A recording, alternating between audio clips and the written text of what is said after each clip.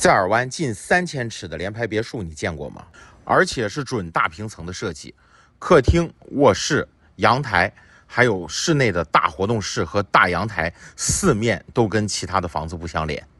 现在视频里看到的呢是这个房子的厨房、饭厅、大客厅，还有其中的一个阳台，这个是小阳台。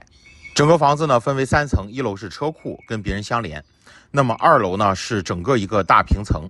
包括它的阳台、客厅、饭厅、厨房，还有它的洗衣房、卧室、卫生间都在这一层，而且这个层高非常的漂亮。这个房子呢，屋主几乎没有住过，所以呢，家具家电都是全新的，而且很多都是带着标签的。这个呢，是位于厨房的一个大的储物间，而且呢，除了厨房电器之外呢，包括它的电视，甚至洗衣机、烘干机、冰箱，这些都是带的。这里呢是洗衣房、洗衣机、烘干机一排的橱柜，还有它的水盆。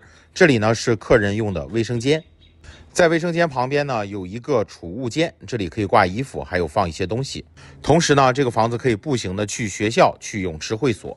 这里呢是主卧的一个照片，哦，这个视频不知道为什么没有拍上哈。这里呢是它的大的卫生间，带浴缸的。而且这里呢是主卧的大衣橱。现在呢，咱们看到的是另外的一个次卧，两间次卧共用一个卫生间。这里呢，每间卧室的面积都不小，因为整个房子呢是有两千八百九十二尺，也就接近三千尺的一个面积。现在呢，咱们看它两个卧室共用的这个卫生间，就是这里。然后这里面呢是有浴缸和站浴一体式的这样的一个设计。刚才呢，大家也看到了，这个房间的各个方向都有窗，所以呢，这个房子住起来非常的舒服。你看它这个大卧室，面积都是不小的。接下来呢，咱们上三层去看一下，看这个大层高，还有这么多大窗户。